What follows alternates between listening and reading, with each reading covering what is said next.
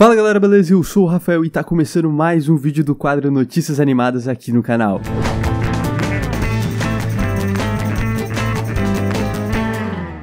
Galera, já se passou então uma semana desde as notícias animadas anterior que eu postei aqui no canal. Inclusive, se você não assistiu, vai lá assistir porque tem sempre notícias muito legais no Notícias Animadas, notícias só tops, bem interessantes, bem relevantes. O Notícias Animadas de hoje tá recheado de notícias, mas hoje tá um pouco meio que estranho o negócio, tá tipo 50% notícias que vão te deixar assim, ó, arranhando os dentes e 50% de notícias que vão te deixar pulando de alegria de tops mesmo, assim, notícias boas. Mas todas elas são relevantes pro universo dos desenhos animados. Tem notícias de um incrível mundo de Gumball, é, de Tricky Moon, que é um desenho aí que teve uma polêmica lá que vocês vão entender. Tem muita notícia legal, inclusive de novos desenhos que estão chegando aí, então fica comigo até o final, porque é Notícias Animadas, você sabe que Notícias Animadas é só notícia de qualidade. E, gente, como vocês sabem, eu não enrolo muito no começo do Notícias Animadas, eu gosto de ir direto pras notícias, porque eu não gosto de perder tempo. Então, ó, se você quer deixar o Rafazito aqui bem feliz, deixa o seu like aí. No último Notícias Animadas a gente chegou bem pertinho, pelo menos quando eu tô gravando aqui, a gente tá bem perto da meta de 10 mil likes. Então, será que a gente consegue bater pelo menos 5 mil likes nesse vídeo aqui? Então vamos lá, gente. Se vocês gostam mesmo de coração do Notícias Animadas, se vocês se divertem aí, vocês curtem as notícias,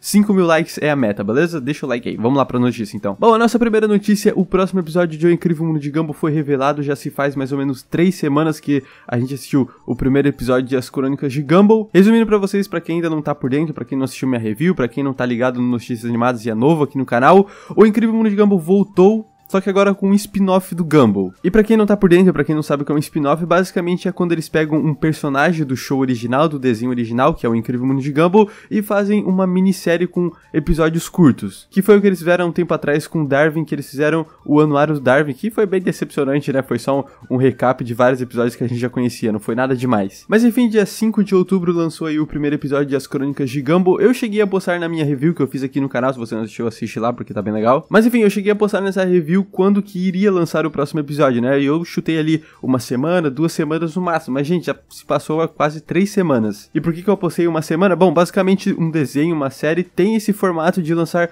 um episódio novo por semana. Esse é o padrão do, do, das empresas. Inclusive, com o anuário do Darwin, quando tava lançando, eles fizeram exatamente isso. Foi nesse formato, um episódio por semana se eu não me engano, foi ali oito episódios no total, né? Ou seis episódios mais ou menos. Mas calma, tem uma explicação até que lógica para o porquê de ou esse spin-off do Gumball não tá tendo um episódio por semana. Eu vou explicar para vocês. Bom, dia 5 de outubro lançou o primeiro episódio de As Crônicas de Gumball, como vocês viram lá na minha review. Foi bem legal, foi bem divertido. Foi um especial de Halloween, teve a aparição do palhaço lá, foi bem arrepiante, né? E agora, quase um mês depois, eles anunciam a data do próximo episódio, que é o episódio 2, que vai ser no dia 2 de novembro. Ou seja, quase um mês exato depois do primeiro episódio. Pelo que eu entendi, esse episódio vai ser sobre eleições, sobre quem vai ser o novo presidente da escola de Elmore, algo assim. Não é o presidente de Elmore, é o presidente da escola de Elmore. Eu não sou muito ligado em política, mas eu sei que para essa época do ano lá para os Estados Unidos tá rolando as eleições do novo presidente. Então é por isso que Gumball vai brincar com isso, sabe? Inclusive o trailer que eles disponibilizaram do próximo episódio começa brincando com o fato de estar rolando as eleições lá pra fora, né? Mostrando a Casa Branca e o e o, a população lá com a bandeirinha dos Estados Unidos. Enfim, como é de costume, Gumball vai ter um episódio brincando com esse assunto. Eu já falei há muito tempo aqui no canal, lá na época das reviews, quando lançava os episódios da sexta temporada, que não é difícil perceber que os episódios de Gumball, na grande maioria, são críticas. Eles estão brincando com algo que é polêmico. Eles estão meio que ironizando algumas coisas ali em forma de episódios. Se vocês repararem, alguns episódios brincam com isso. Incrível Mundo de Gumball é bem é bem sério o negócio. Você achou que era engraçado, é? Mas enfim, eu acredito que o fato desse episódio ter demorado quase um mês aí para estrear é pelo simples fato de que ele vai ter uma hora. Sim, é um episódio especial de uma hora. Claro que vai ter cenas ali de episódios que nós já assistimos, né? Da sexta temporada, da quinta temporada e assim vai. Mas diferente do Anuário do Darwin, as crônicas do Gumball tem várias cenas extras. Eles criam toda uma historinha para tudo poder fluir ali. Não é do nada que as coisas acontecem, sabe? Então é isso, dia 2 de novembro, o novo especial de O Incrível Mundo de Gumball com exatamente uma hora e vai ser sobre as eleições eleições, não sobre os Estados Unidos, mas sim sobre a escola de Elmore. Então, seguindo aqui a nossa segunda notícia, Trick Moon foi rejeitado pela Cartoon Network. Olha, eu simplesmente não entendo essa empresa. Trick Moon foi, tipo, incrivelmente recebido bem pela comunidade quando ele teve o episódio piloto dele postado no YouTube. Para vocês terem noção, o vídeo no YouTube conta com mais de 1 milhão e 500 mil visualizações. Será que o pessoal se interessou? Assim, eu não posso falar, uau, essa história é perfeita, Trick Moon é perfeito, supera todos os desenhos já existentes, traga um Oscar para ele. Não. Mas, gente, é algo que merece o seu próprio show, é uma história bem divertida para todas as idades. Eu assisti, inclusive, vocês vão rir, mas eu me senti extremamente relaxado assistindo esse episódio piloto, tanto que passou muito rápido, eu nem prestei atenção no tempo. Enfim, se você assiste, você percebe que tudo foi criado com muito carinho, dá para sentir sim isso, e o fato dele lembrar muito OKKO é porque a criadora do desenho trabalhou em OKKO. Meio que ela se inspirou, algo do tipo, não sei. E tipo assim, todos nós sabemos que o episódio piloto, quando vira um show original, né, oficial ali, ele sofre mudanças bem bruscas e para melhor, ou até para pior, né? E olha, sei lá o que aconteceu para ele ter rejeitado esse desenho, tinha tudo para dar certo,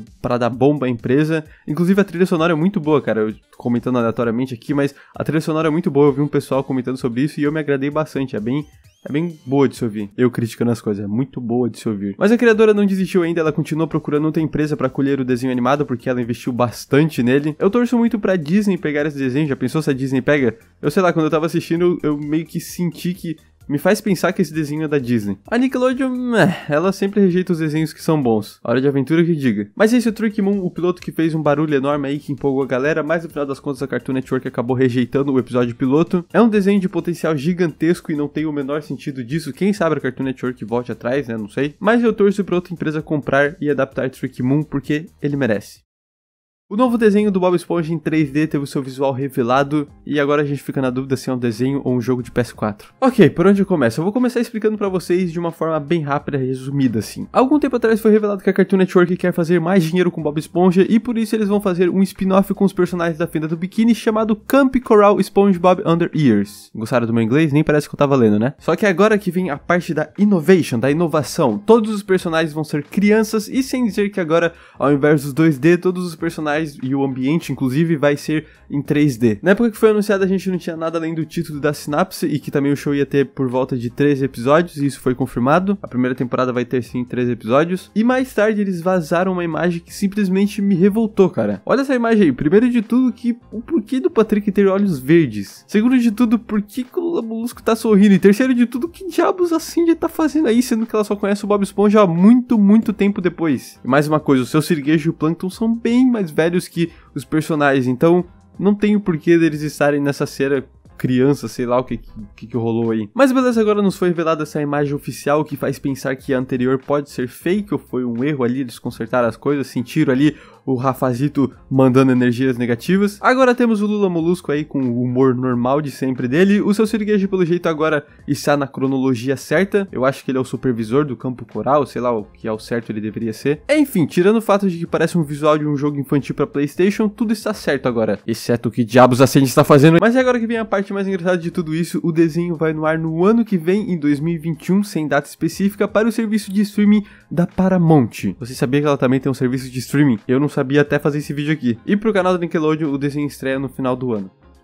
Galera, nessa semana, no dia 19 de outubro, teve o crossover de Victor e Valentino com Vilanescos. Na verdade, os personagens de Vilanescos foram até Monte Macabre, que é onde se passa Victor e Valentino. Eu vi que teve o maior marketing no Twitter deles brincando que foi hackeado lá e tal. Mas é isso, eu pretendo fazer um vídeo separado do assunto porque eu gosto bastante de Victor e Valentino e de Vilanescos, então eu quero fazer um vídeo separado. Comentem embaixo se vocês assistiram o crossover já e se vocês querem que eu faça um vídeo separado ou não. Pra mim foi um crossover bem legal e com sentido, né?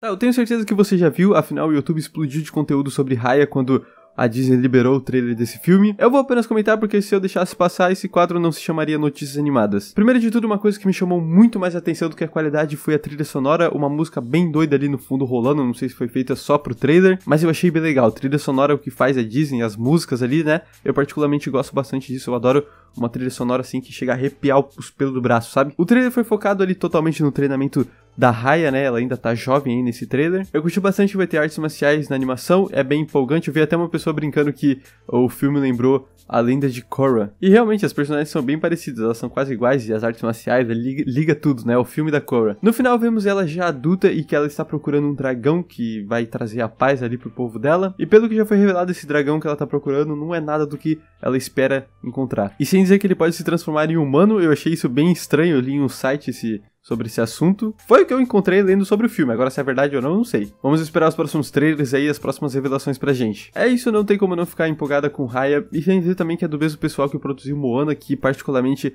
é a minha animação favorita. Então isso faz eu ficar cada vez mais ansioso para Raya e o Último Dragão.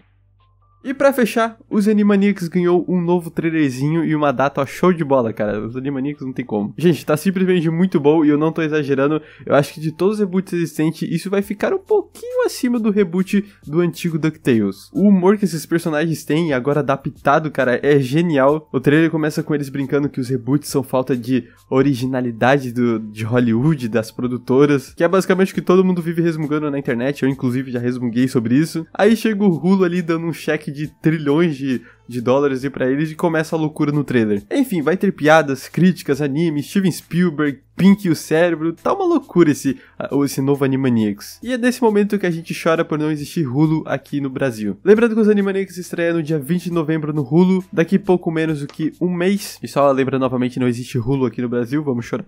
Mas o Animaniacs tá bem legal e eu tô bem ansioso para poder assistir. Mas é isso, esse foi o Notícias Animadas da Semana, espero que vocês tenham gostado. Quero deixar um agradecimento especial pra galera lá do Discord do canal, que sempre tá me avisando, a gente tem uma área exclusiva lá pro Notícias Animadas, e a gente tá sobre, sempre discutindo lá as notícias da semana para poder colocar aqui no canal para vocês. Sim, os inscritos me ajudam a postar vídeo aqui no canal. Então é isso, deixa o like se vocês gostaram do Notícias Animadas da semana. Lembrando que semana que vem tem outro Notícias Animadas e semana que vem que vem tem outro Notícias Animadas e assim vai, beleza? É, eu vou ficando por aqui. Um grande beijo, um grande abraço, até o próximo vídeo e tchau!